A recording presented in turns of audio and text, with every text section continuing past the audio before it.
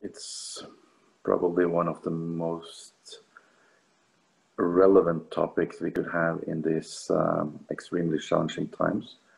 And we're all now focused on a post COVID recovery. We are dealing with serious climate change issues.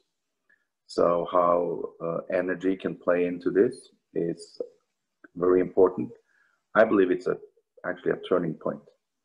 Uh, we have a huge opportunity now when we design the post-COVID uh, transition period and the, the, new normal, that we make it greener, smarter, uh, with less use of carbon, and um, that will create opportunities, um, as well as building a more sustainable environment and societies. So I think we now have, with um, the Singapore International Energy Week as an excellent platform, a great opportunity to join forces across countries and across sectors to form these uh, transformational partnerships, which will bring the world a little bit forward in the time to come.